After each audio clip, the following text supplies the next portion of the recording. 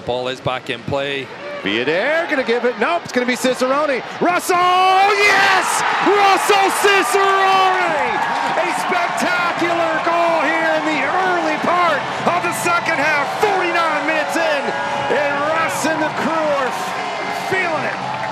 Oh, what a ball! And as a substitute, gets himself an assist, and Keko takes it early. You love the, the energy.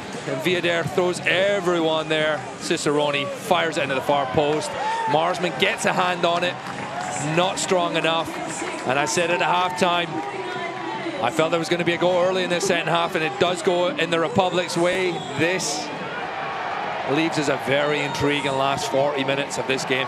Well, there's one team that you know will be dangerous for 90 plus minutes. It's San Antonio.